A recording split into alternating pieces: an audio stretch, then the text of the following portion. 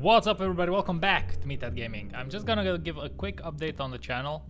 Uh, so for, for, the upcoming three weeks, I'm gonna be on a holiday leave. Uh, I'm gonna have no access to my channel, etc, etc.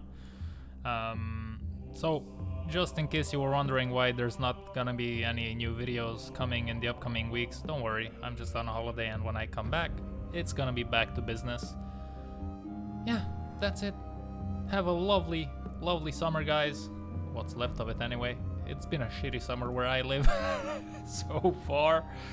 But let's hope for the best, guys. Until next time, stay safe, stay clean, and always stay strong.